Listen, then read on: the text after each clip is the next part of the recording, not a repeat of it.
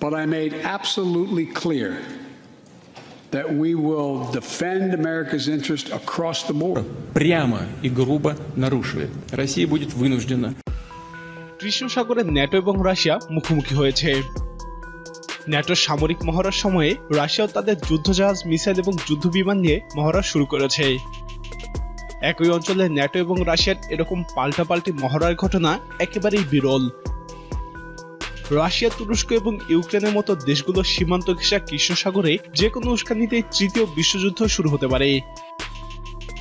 যেমনটা হয়েছিল একশো বছর আগে প্রথম বিশ্বযুদ্ধে। অবশ্য ভ্লাদিমির পুতিন পশ্চিমাদের ব্যঙ্গ করে বলেছেন, রাশিয়া যদি ন্যাটোর সদস্যভুক্ত ব্রিটেনের যুদ্ধজাহাজ ডুবিয়েও দিত, তবু তারা যুদ্ধে নামত না। পুতিনের ভাষায়, রাশিয়ার বিরুদ্ধে যুদ্ধে জেতার সামর্থ্য পশ্চিমাদের নেই। ন্যাটো তাদের সম্মেলনে রাশিয়া এবং চীনকে এক প্রকার শত্রু হিসেবে ঘোষণা করার কয়েক ঘণ্টা পরেই রাশিয়া তাদের বাহিনী কৃষ্ণ সাগরে নামালো। কিন্তু কৃষ্ণ সাগরে ন্যাটোর সাথে রাশিয়ার এত দ্বন্দ্ব কেন? এই পরস্পর বিরোধী মহড়ায় কে কোন ধরনের অস্ত্র ব্যবহার করছে? মহড়া চলাকালে ন্যাটো এবং রাশিয়ার কোনো যুদ্ধজাহাজ, মিসাইল কিংবা যুদ্ধবিমান যদি ইচ্ছাকৃত কিংবা দুর্ঘটনাবশত অপরের ক্ষতি করে বসে, তাহলে কি পরিস্থিতি দাঁড়াবে? এখানে তুরস্কের ভূমিকাই বা কি? এসব উত্তর পেতে পুরো ভিডিওটি দেখতে থাকুন। আর আপনি যদি আমাদের চ্যানেলে নতুন হয়ে থাকেন, তাহলে নিয়মিত এরকম সামরিক বিশ্লেষণমূলক ভিডিও দেখতে আমাদের চ্যানেলটি সাবস্ক্রাইব করুন। পাশাপাশি এই ভিডিওগুলি ফেসবুকেও দেখতে চাইলে আমাদের ফেসবুক পেজটিতে লাইক দিন।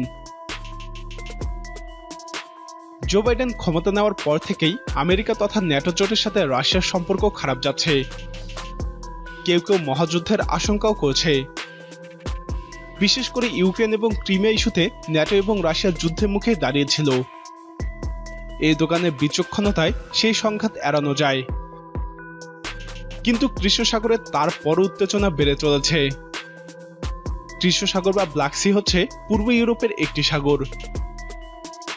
যেখানে তুরস্কের মধ্য দিয়ে প্রবাহিত বসফরাস প্রণালীর মাধ্যমে ভূমধ্যসাগর এবং আটলান্টিক মহাসাগরের সাথে যুক্ত হয়েছে। অর্থাৎ আটলান্টিক সাগর এবং ভূমধ্য সাগর থেকে কৃষ্ণ সাগরে যেতে হলে তুরস্কের মধ্য দিয়ে যেতে হবে। ন্যাটো কিংবা রাশিয়ার সবার যুদ্ধজাহাজ তাই তুরস্কের মধ্য দিয়েই যাতায়াত করে। বছরের শুরু থেকে ন্যাটো জোট এবং ইউক্রেনের সাথে রাশিয়ার উত্তেজনা বিরাজ করছে। রাশিয়াকে ভয় দেখাতে কৃষ্ণ সাগরের ন্যাটোর দেশগুলো মহড়া শুরু করেছে। এই সময়ে রাশিয়াও এখন কৃষ্ণ সাগরে নৌমহড়া চালাচ্ছে। রাশিয়ার যুদ্ধজাহাজগুলো কৃষ্ণ সাগরের তাজাগুলি ব্যবহার করে মহড়া চালিয়েছে। মহড়ার শুরুর দিনেই রাশিয়ার দুটি বিশাল যুদ্ধজাহাজ থেকে সাগর অভিমুখে এবং আকাশে গোলা নিক্ষেপ করা হয়। ক্রিমে উপত্যকা থেকে রাশিয়া তাদের নতুন আকাশ প্রতিরক্ষা ব্যবস্থার পরীক্ষা চালানোর পর এই নৌমহড়া চালানো হলো। আমেরিকা তার ন্যাটো মিত্রদেরকে নিয়ে কৃষ্ণ সাগরে রাশিয়ার কয়েকশো কিলোমিটার দূরেই সামরিক মহড়া চালাচ্ছে। সিভিরিস টোয়েন্টি টোয়েন্টি ওয়ান নামের এই মহড়ায় ন্যাটোভুক্ত প্রায় পাঁচ হাজার সেনা অংশ নিচ্ছে। ন্যাটোর এই মহড়া চলবে দুই সপ্তাহ। ন্যাটো মহড়া শুরু করার আগেই এটি না চালানোর আহ্বান জানিয়েছিল রাশিয়া। রুশ প্রতিরক্ষা মন্ত্রণালয় কৃষ্ণসাগর থেকে ন্যাটো বাহিনী প্রত্যাহারের আহ্বান জানানোর পাশাপাশি হুঁশিয়ারি উচ্চারণ করে বলেছে রাশিয়ার জাতীয় নিরাপত্তা হুমকির মুখে পড়লে কঠোর প্রতিক্রিয়া দেখাবে মস্কো।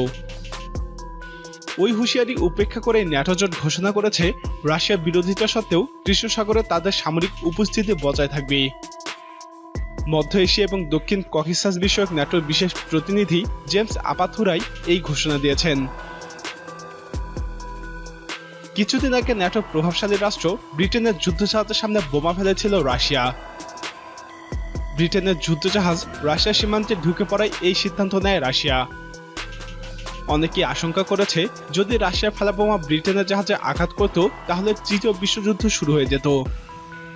তবে ব্রিটেনকে পাত্তাই দেয়নি রাশিয়া। এ প্রসঙ্গে পুতিন বলেন, যদি রাশিয়া বাহিনী ব্রিটিশ ডেস্ট্রয়ার যুদ্ধজাহাজ ডুবিয়েও দিত, তবু নতুন করে কোনো বিশ্বযুদ্ধ হতো না। কেননা পশ্চিমা বিশ্ব জানে, তারা এ ধরনের যুদ্ধে জিততে পারবে না। কৃষ্ণ সাগরে ব্রিটিশ ডেস্ট্রয়ারের সাম্প্রতিক আচরণকে আমেরিকা এবং ব্রিটেনের যৌথ উস্কানি হিসেবে অভিহিত করেছে পুতিন। পুতিন বলেন ডেস্ট্রয়টি রাশিয়ার জলসীমায় প্রবেশের পর আমেরিকার নজরদারি বিমান গ্রিসের ক্রেট দ্বীপ থেকে উড্ডয়ন করে, যা রাশিয়ার রাডারে ধরা পড়ে। এ ধরনের পরিস্থিতিতে রাশিয়ার আচরণ কেমন হয় ডেস্ট্রয়ার এবং ওই নজরদারি বিমান যৌথভাবে তা দেখার চেষ্টা করে। তারা দেখেছে এ ধরনের পরিস্থিতিতে রাশিয়া কেমন আচরণ করেছে। ব্রিটেনের ডেস্ট্রয়ার জাহাজটি রাশিয়ার জলসীমায় প্রবেশের অভিযোগে রাশিয়া ব্রিটিশ যুদ্ধজাহাজে গুলি করে। পরে রাশিয়ার একটি সুখুই এসইউ টোয়েন্টি ফোর যুদ্ধবিমান ব্রিটিশ জাহাজকে সতর্ক করতে সাগরে বোমা বর্ষণ শুরু করে। যদিও জলসীমা লঙ্ঘনের অভিযোগ অস্বীকার করেছিল ব্রিটেন। এবারে আসুন দেখে নেই পাল্টাপাল্টি এই মহড়ায় কোন কোন অস্ত্র ব্যবহার করছে রাশিয়া এবং ন্যাটো। শুরুতে এস ফোর হান্ড্রেড মিসাইল সিস্টেমের পরীক্ষা চালিয়েছে রাশিয়া। তারা ন্যাটোর এই মহড়া শুরুর আগেই বাতিলের আহ্বান জানিয়েছিল। রাশিয়ার প্রতিরক্ষা মন্ত্রণালয় হুঁশিয়ারি করে বলেছিল, মহড়া চালালে তারা তাদের জাতীয় নিরাপত্তা সুরক্ষিত রাখতে প্রয়োজনের প্রতিক্রিয়া দেখাবে। কিন্তু রাশিয়ার আপত্তি উপেক্ষা করেই সিব্রিজ টোয়েন্টি টোয়েন্টি ওয়ান নামের দু সপ্তাহের এই মহড়া শুরু করে, যেখানে ন্যাটোর ত্রিশটি দেশ অংশ নেয়। মহড়ায় দেশগুলোর পাঁচ হাজার সামরিক সদস্য অংশ নিচ্ছে। তাছাড়াও প্রায় তিরিশটি যুদ্ধজাহাজ এবং চল্লিশটি বিমান অংশ নেয়। তবে মার্কিন যুদ্ধজাহাজ ইউএসএস রস এবং ইউএস মেরিনকোর অংশ নিয়ে আলাদা মাত্রা দিয়েছে। ন্যাটোকে জবাব দিতে রাশিয়া তাদের দখলকৃত ক্রিমিয়া থেকে এস ফোর হান্ড্রেড মিসাইল নিক্ষেপ করে। রাশিয়ার নৌবাহিনী জানিয়েছে এস ফোর হান্ড্রেড এবং ভূমি থেকে আকাশে নিক্ষেপযোগ্য ক্ষেপণাস্ত্র ব্যবস্থা সহ প্রায় বিশটি যুদ্ধবিমান এবং হেলিকপ্টার ব্যবহার করছে রাশিয়া। রুশ বিমানবহরে এসিউ টোয়েন্টি ফোর এম বোমারু বিমানও রয়েছে। এখানে উভয় পক্ষই যে ধরনের যুদ্ধজাহাজ, মিসাইল এবং যুদ্ধবিমান ব্যবহার করছে, তা পুরো কৃষ্ণ সাগরের যে কোনো স্থানে হামলা করার ক্ষমতা রাখে। ফলে পাল্টাপাল্টি এই মহড়ায় ইচ্ছাকৃত কিংবা দুর্ঘটনাবশত একে অপরের প্রতি আঘাত আনার সম্ভাবনা প্রবল। আর ন্যাটো অনেকটা উস্কানিমূলকভাবেই কাজগুলো করছে। তাই যে কোনো সময় প্রথম বিশ্বযুদ্ধের মতো পরিস্থিতি তৈরি হওয়াটা অস্বাভাবিক কিছু নয়। প্রিয় দর্শক, ন্যাটো এবং রাশিয়ার এই পাল্টাপাল্টি অবস্থানে কি ঘটতে পারে বলে আপনি মনে করেন? আপনার মতামত কমেন্টে জানান।